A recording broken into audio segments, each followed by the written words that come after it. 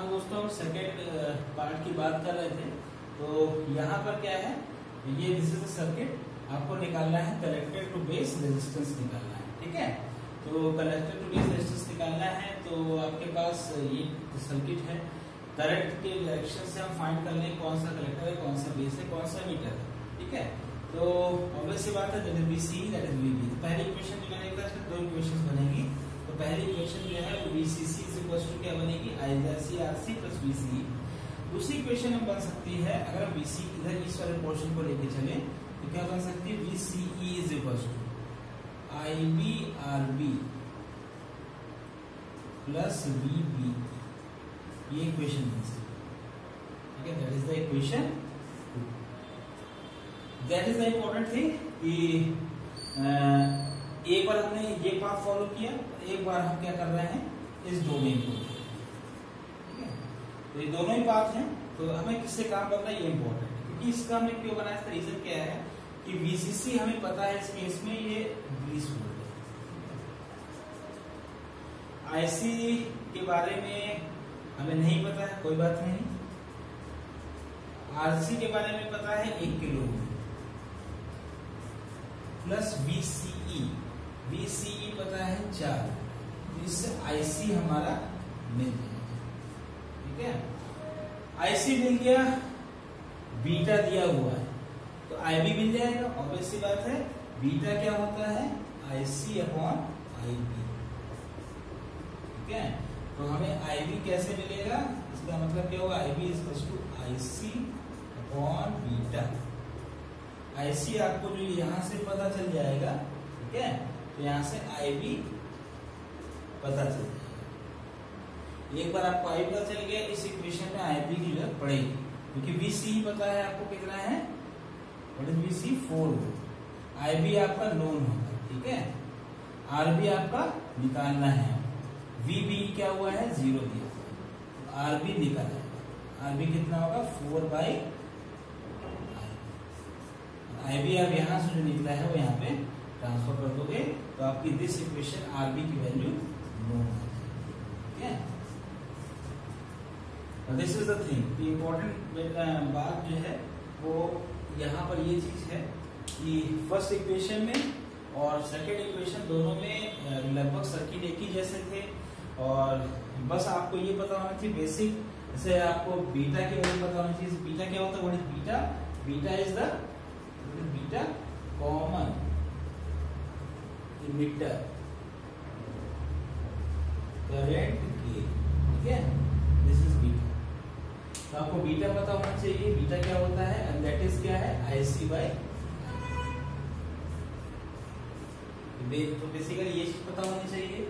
और साथ साथ में क्या है कि बेसिकली इस तरह के जो क्वेश्चंस आपके आईटीज में पूछे जाएँगे वो जो है बेसिकली बहुत टेक्निकल होंगे नादर की रादर की उसमें बहुत सारा हम स्टफ़ उसमें ऐड कर दें या बहुत सारा बहुत सारा कंप्यूटेशन उसमें हो तो या, या राष्ट्रीय प्रौद्योगिकी संस्थान या इंडियन इंस्टीट्यूट ऑफ़ टेक्नोलॉजी इस तरह के जो प्रेस्टिजियस ऑर्गेनाइजेशन होते हैं, इनको क्या है बल्क नहीं चाहिए होता है, कि आपको बहुत ज़्यादा कंप्यूटेशनल पावर हो आपकी। जैसे वो चेक करते हैं कि कॉन्सेप्ट आपका यहाँ कहाँ से आप पकड़ रहे हो। तो यहाँ से पहले केस में क्या है कॉन्सेप्ट क्या लगा हमारा? पहले केस में हमने दिस पाथ हमने इस पाथ को फॉलो किया। इस पाथ को फॉलो करने से हमें क्या हो गया, ये पता चल गया VCC is to I B R B plus VB ठीक है? That is VCC is to I B R B plus VB इससे आपका निकला है आई ठीक है, और बीटा पता है तो ऐसे भी निकल आएगा बहुत सिंपल क्वेश्चन था। सेकंड क्वेश्चन में क्या है आपका? ये इस तरह से बड़ा कॉम्प्लेक्स कॉम्प्लेक्स सर्किट लग रहा है, लेकिन करना क्या है इसमें? एक बार आपको ये पास लेके चलना है। VCC to ISCRC plus VCE ठीक है? इस पाथ इस पाथ को लेके चलना और कुछ है नहीं इसमें। ठीक है? दूसरा क्या है? Second question is second question कहाँ से बनेगी, इस पार्ट को लेके चले। Is to VBE plus IBR ये दोनों इक्वेशन यहाँ पे इम्पोर्टेंट बात क्या है कि आपको ये ध्यान रखना है कि ऐसे कंडीशन में फंसने की ज़रूरत नहीं है। ये आपको यूनिवर्सल लॉ है, हमेशा काम आएगा आपके। ये हमेशा करेक्टर करंट जो होती है बेस करंट से बहुत ज़्यादा होती है। तो ऐसे केस में अगर आइडर से स्पेसिफिकली मेंशन है तो आप जो है उस चीज़ को अपने हिसाब से बना सकते हो। ठीक है? तो आपने सबसे पहले इस इक्वेशन को लेके VCC to आइडर C R C plus VCE करके आपने IC निकाल लिया। IC निकालने के बाद बीटा की इक्वेशन से IB निकल आएगा। ये हमेशा काम आएगा। कॉमन एमिटर ब्राउन है, इसलिए कॉमन एमिटर का बीटा दिया हुआ है, ठीक है? नेक्स्ट आपका जो है, आपने लिया ये this is the VCE is equal to IB RB plus VB आपको RB निकालना था तो RB यहाँ से निकल आया। इसमें फाइंड आपको देखिए, ये कभी दिया नहीं जाएगा कि ये निकालना है। आपको दिएगा find the collector to base resistance तो कलेक्टर ये है आपका।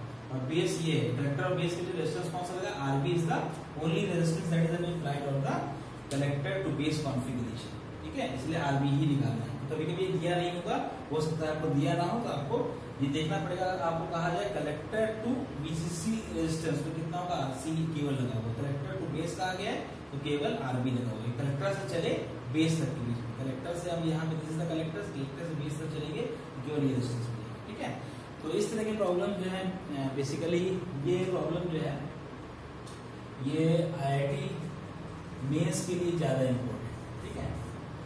एडवांस में अभी और भी सारे प्रॉब्लम्स आते हैं, जो और भी ज़्यादा टफ कैटेगरी में आएँगे तो बहुत बेसिक्स है, लेकिन इन सर्किट्स को देख के आपको डरना नहीं है। इस तरह के प्रॉब्लम्स जो कि उसने कुछ बच्चे ने पूछा था मुझे हरियाणा से मैंने कहा, ये प्रॉब्लम होता बच्चा बहुत से बच्चे इसको स्किप कर देते हो कि सर ये प्रॉब्लम तो बहुत हार्ड होते हैं तो इस तरह के प्रॉब्लम्स हार्ड नहीं होते हैं। आपको बेसिक केसीएल केवीएल पे विश्वास रखना है और उस तरह से उस प्रॉब्लम को सॉल्व करना ठीक है?